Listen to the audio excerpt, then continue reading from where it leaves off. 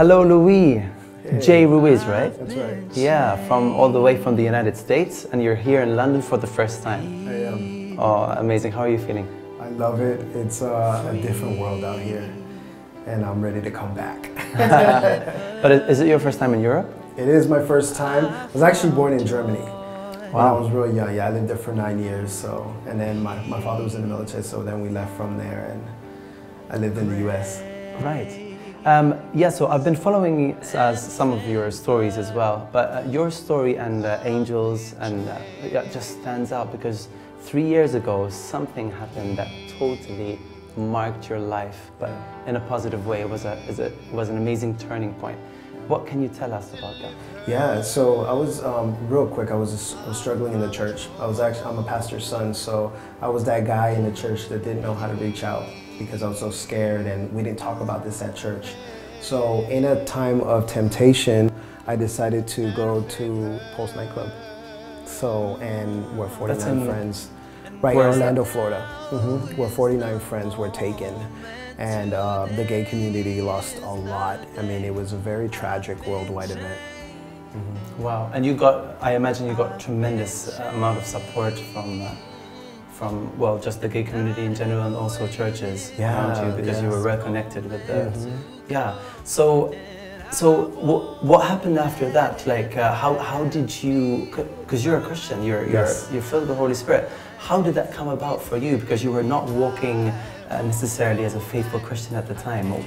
How did it happen? Yeah. So one thing um, through the persecution, I found relationship instead of religion and legalism. I think I was living my life for a long time trying to check the box, trying to be this Christian in front of people, but inside my heart it was so dirty, and I was just so rebellious, and I had lust issues, I had pornography, masturbate, you name it, and um, I was able to now have relationship, but that didn't happen until I found out that I was HIV positive, where I was just like, whoa, you know. Um, first, I survived this Pulse nightclub event, and then now months later, I find out that I'm HIV positive. So I, all that was just something that kind of like uh, connected me and made me just be like, wow, I, I need I need this Jesus, and I don't need religion. Right. It must have been so hard um, for you to sort of like go through that change. Yeah. And and how did you balance that with the support that you were getting from the gay, uh, the worldwide gay community? How how was the reaction? Yeah, so I didn't expect it at all, but through that, there was so much persecution when I decided to come out with my story. When I decided to share everyone that this is the man that I'm following with now is Jesus. You know, the only man that I wanted in my life that wouldn't cheat on me, that wouldn't sleep with my best friend. This man, Jesus, that I'm now deeply in love with, um, they didn't accept that because they And said, you chose not to compromise. You just right, stuck right. to the word of God. And Yes, yes. I Yeah. found I found um, scriptures that led me to know that the life I was living was not the life that God wanted and intended for me. So I started un- understanding my identity in Jesus and who He created me to be. Right. So and, and that's when I started pulling away from that ideology. And it's been a journey. You know, we're not perfect. No one's perfect, but now there's a journey of just following Christ throughout of that life. Yeah, and there must have been many others who took example from your life. Yeah. Can you tell us maybe one or two stories that Yeah, that stand out? sure. Um, so I decided to share my story for the first time because I was so involved in trying to make everyone happy. You know, my LGBT friends, the church, I was just trying to make everyone happy.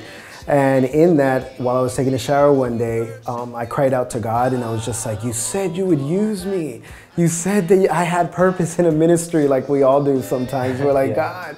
God. Um, and I felt the Holy Spirit just whisper in my ear and say, You haven't forgave the shooter yet. Wow. So I was carrying this unbrokenness and I was so worried about ministry that I had so much inside that I needed to fix first. Um, so I wrote this post on Facebook and I said, I forgive the shooter. And I just went ahead and told my whole story, my testimony. And Fierce. through, yeah, and through that is where um, a lot of my LGBT friends turned their backs on me.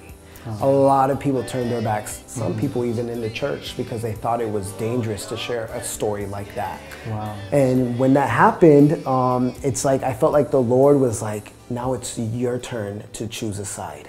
Mm-hmm. And when I was able to choose Jesus, now I became fearless. Now all of a sudden, this I was able to speak the gospel with no compromise, and. I didn't have to worry about oh, is he okay? Is she okay?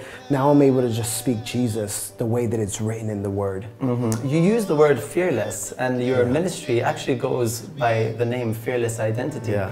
Uh, tell us a bit more about how uh, this move has been developing and how God has brought you, former homosexuals, together yeah. to um, have a positive influence over uh, the world around us. So it's so amazing. Angel Colon and I are the CEOs of Fearless Identity. Wow. So what we do, because we both come out of uh, the church, we go into churches now and we build teams where people that come um, that are from the LGBT and decide to go to church now they have a place to journey.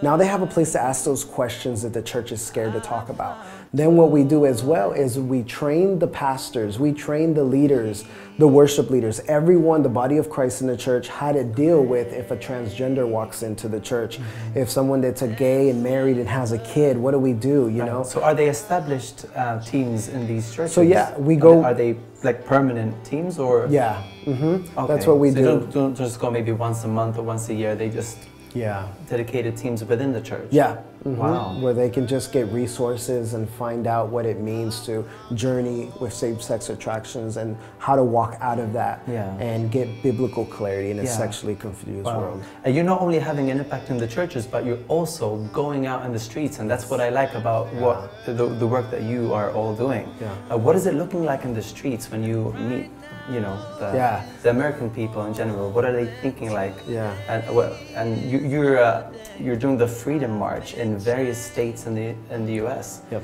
Yeah, tell us a bit more about that. Yeah, so I'm also co-founder of the Freedom Marches, and I love how we're now stepping out of the churches. Mm-hmm. You know, we're stepping out of the four walls, mm-hmm. and we're mm. preaching the gospel out. So what we do is we get together, and um, 12 people that have come out of the lifestyle will stand up and share our stories. Right. It's also done by worship teams, and then we have churches all around come together with their resources, come together as the body of Christ should.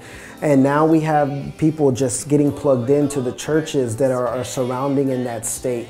Um, and we march around the downtown area one time and just proclaiming freedom, singing songs, letting people know that there is freedom through Christ Jesus. And that even though the world says you were born this way, John chapter 3 3 says that I must be born again.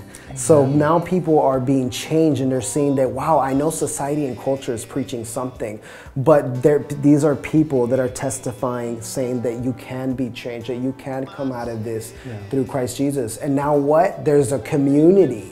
And for a long time, me that I grew up in the church, I was so alone. I thought I was the only one going through this, mm-hmm. but not no more. Now there's an hmm. army rising up and we're coming together. Yeah. And now it's a worldwide movement. We're in London. You know what I mean? Who knows where we're going to be tomorrow? Yeah. So there's revival. I believe yeah. that God is sweeping the world right now. And I just, I love it. So it's a huge Beautiful. Movement. Just talking to you, I can feel the authenticity and passion that you carry uh, together with your partner um, in ministry, Angel. So yeah, tell us a bit more maybe about some upcoming projects. What's in the pipeline, guys?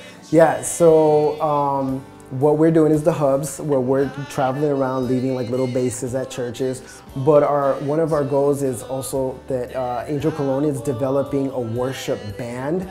So he's hoping in, near few, uh, in the near future make an album and, and as well as we're building a school a fearless identity training camp where people can come pastors, leaders from all, instead of us like going everywhere, they can now come in right. internationally all around and kind of get um, that training uh, in courses and how to deal with this kind of issue.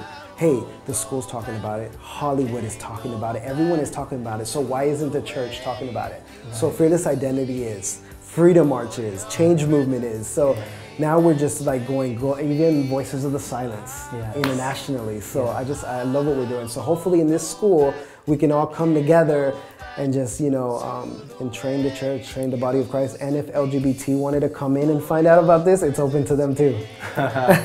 Praise God. So what do you think it's going to look like in about two years' time? What do you see happening in two years' time? Oh. In the US and in the world? How is your work going to change? Yeah. And the work of organizations such as yeah. Voices of the Silenced, how is it going to bring change? I feel like no longer is it going to be a position but an influence. Mm-hmm. You know, Walmart influences the whole world. I feel that fearless identity in about two years is going to influence the whole world with and not just I don't even speak about fearless identity, all these ministries that we're connecting to. We're becoming one. Right. And that's what, and we're just getting that ready for that trumpet sound. Right. You know what I mean? Yes. But I, I love it. I just keep doing what we're doing. So in about two years, I just see it just exploding like it already is. And more than anything, seeing people come out of the LGBT lifestyle and not just making it a gay to straight thing, but to making it a lost to save thing. Absolutely. You know? Absolutely. Yeah. That's so exciting. I really look forward uh, to what's ahead. And I'm so glad that this is bringing uh, unity in the church. Yeah. And, and it, it's also elevating the church to a, a place of just greater and higher authority in the world. Amen. And it's such a privilege to be instrument. Thank you for coming. Thank you. Um, we're going to be uh, having a concert tonight as well in London. Give me a chance. And we're going to have a great time. Thank you for coming. And you. uh, we'll continue in prayer for you guys. Yes. We're excited. Amen. Thank, Thank you. you. God bless you.